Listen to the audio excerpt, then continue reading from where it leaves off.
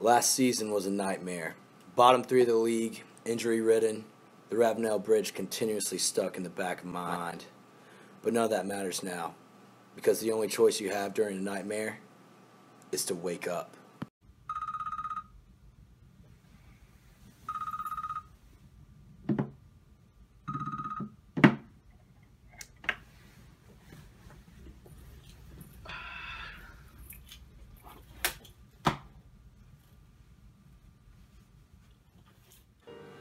I have to admit, $5,000 is a pretty insane buy in, but you have to understand, this is an insane league. You've already met Denver Greg, who must be a mile high if he thinks I don't know there are 31 teams. And Alex, if you're six feet, maybe Ty Montgomery really is the best player in the league. The price isn't just dollar signs, the price is pride. And let me tell you something your pride, your dignity, that's a hefty price to pay.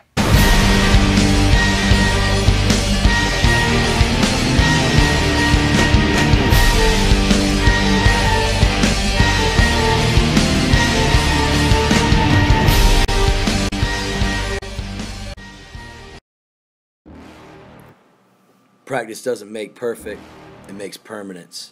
And make no mistake, the name on that trophy is permanent.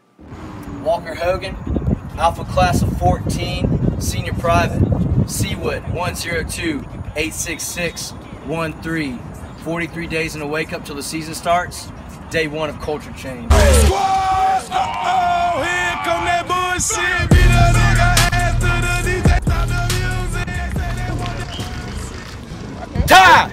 You're in the backfield this play! We're gonna run it again, 88! Let's go!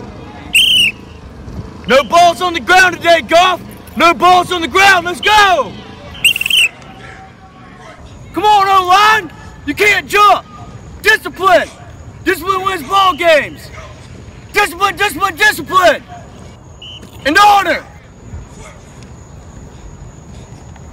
Hey, someone get Pac-Man away from Incognito before they kill themselves. No! Let them go at it! This team's balls need to drop! This was the moment I realized if our team could be as strong as this clipboard, we could take it all the way.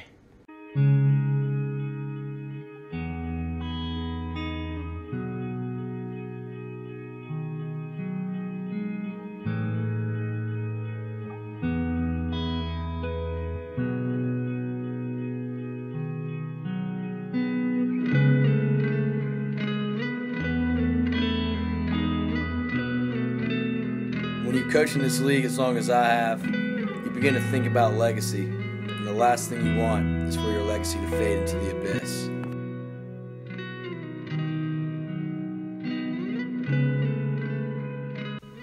But at the end of the day, I hope we're not solely judged on our wins and losses. I hope people remember how we fought with hard work, dedication, and discipline, and honor.